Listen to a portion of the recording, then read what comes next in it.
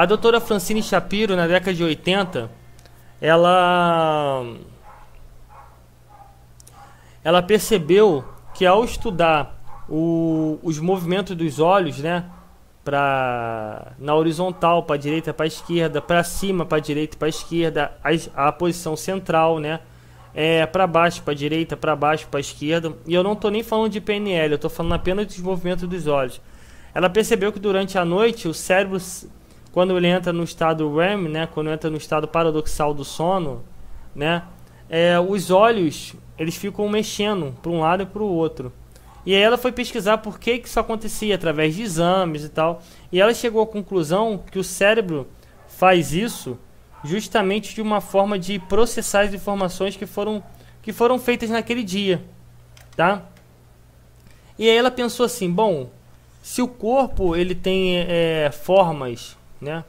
Se o corpo ele tem formas para poder se regenerar, se recuperar de um corte, por exemplo, na mão, de um machucado, ele não teria uma forma de se recuperar os abalos é, psicológicos e emocionais?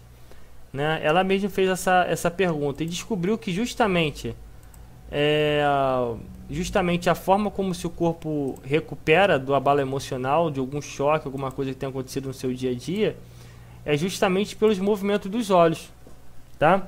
Então ela pensou, será que se eu tentar reproduzir Será que se eu tentar é, reproduzir isso, talvez de uma maneira condicionada, forçar o, o, o, esse movimento dos olhos, será que eu consigo reproduzir esse efeito? E aí foi quando ela conseguiu, ela pegou pessoas com traumas, como pessoas vítimas de estrupo, pessoas que se limitavam, pessoas inseguras, com traumas em gerais, né? Depressão, começou a fazer teste em todo, todo tipo de pessoa. E aí, ela quando ela quando ela conseguiu quando ela conseguiu é, é, fazer esses testes com essas pessoas, fazendo, forçando os movimentos dos olhos, né? Por exemplo, aqui como eu estou fazendo, né? Fazendo acompanhamento dos olhos, é, ela percebeu que 100% dos quadros das pessoas que fizeram o tratamento tiveram melhora significativa e fez um estudo certinho, publicado.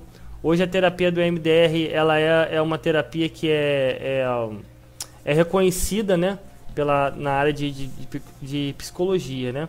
E aí, pensando nesse estudo, eu elaborei uma ferramenta que já está disponível aqui há um tempo já. Eu acho que já deve ter umas três semanas que eu venho falando sobre isso, ou duas semanas, não sei.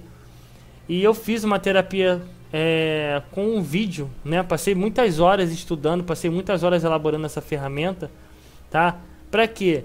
Para que vocês pudessem fazer na sua casa, na casa de vocês, através de um vídeo vocês iriam acompanhar um certo movimento e não é um simples movimento dos olhos. Eu, através do meu conhecimento, o que, que eu fiz?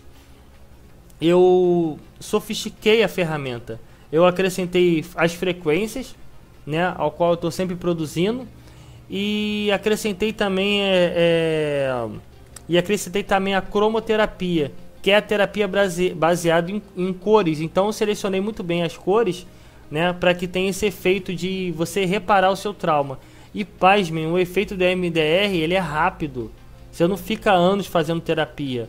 Né? Depende de pessoa para pessoa. Às vezes 3, 4 sessões já é o suficiente. Né? Mas a grande maioria, a pessoa começa a ter o resultado definitivo após os 21 dias. Claro que tem uma, uma individualidade corporal que a gente tem que ser levado em consideração, mas em geral o efeito é, é rápido. E a pessoa não é que a pessoa esquece, tá? desse desse momento que aconteceu, é como a pessoa enxerga a respeito desse, desse dessa, dessa ocasião que aconteceu com ela. E aquilo vem à tona de maneira rápida, né? E aí eu coloquei essa ferramenta, várias pessoas já fizeram aquisição e têm me relatado melhoras absurdas, né? E eu tenho acompanhado essas pessoas. Por quê? Porque se eu elaborei uma ferramenta para terapia, eu também preciso acompanhar esses pacientes, entre aspas, né, para eu poder ver esse retorno, para saber se eu preciso ajustar alguma ferramenta e tal. E eu tenho acompanhado e tem sido bem bacana. É uma ferramenta muito bem elaborada, pessoal que me conhece aqui sabe que o meu trabalho é sério, tá? Então se você tiver a oportunidade de investir em você, entendeu? Eu acho, eu acho um valor muito simbólico, porque você na verdade não tem nem valor você investir em si mesmo, você tornar uma pessoa melhor. Então se você puder fazer esse investimento, é, vai ser uma das melhores coisas que você pode fazer na tua vida, né? Quanto dinheiro você já não gastou às vezes com uma besteira que não vai mudar nada a sua vida, pelo contrário, às vezes pode até piorar, né? Então eu elaborei essa ferramenta e é uma forma também de ajudar o trabalho também, né? Então se você tiver interesse, o link está aqui embaixo na, na, na, descrição. Então, gente, dada essa, essa introdução, eu vou falar do, do reflexo pavloviano. Talvez você nunca deve ouvir falar e vai ser super interessante isso que eu vou trazer para vocês, tá bom? Só antes eu só vou beber um, um pouco d'água aqui e já volto. Me espere que eu já volto aí.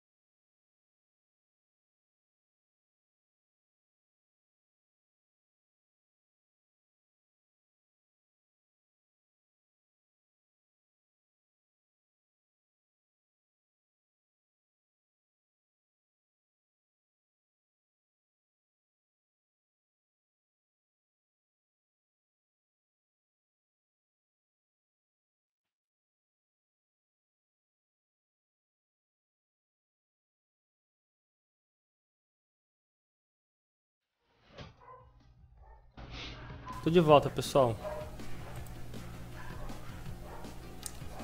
Deixa eu dar uma olhada nos comentários aqui, antes de a gente continuar.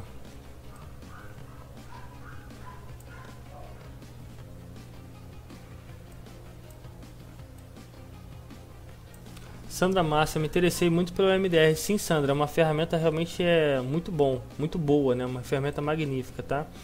E as pessoas que fizeram aquisição ah, o microfone está aqui, eu estava olhando o microfone. E as pessoas que fizeram aquisição me relataram vários benefícios com relação à ferramenta, tá? E eu acompanho as pessoas, né? Isso aqui é bacana.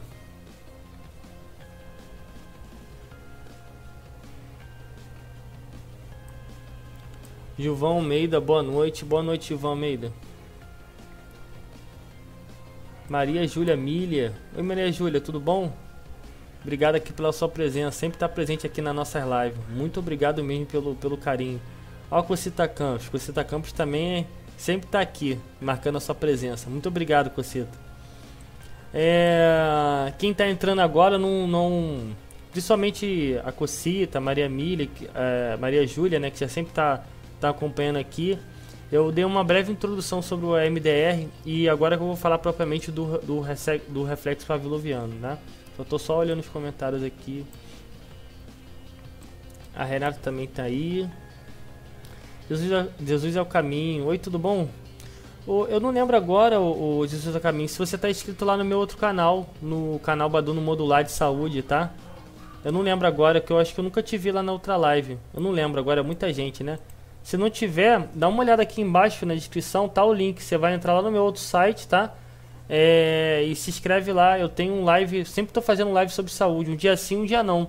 Eu, por exemplo, hoje é live aqui no Thiago Linux. E amanhã vai ser lá de, no, no, no Baduno, tá? Baduno Modular, que é o nome do meu novo canal. Lá eu só falo só sobre saúde, o pessoal tá gostando bastante, tá? E em breve vai ter novidade também. Vou trazer uma novidade bacana lá no outro canal para vocês.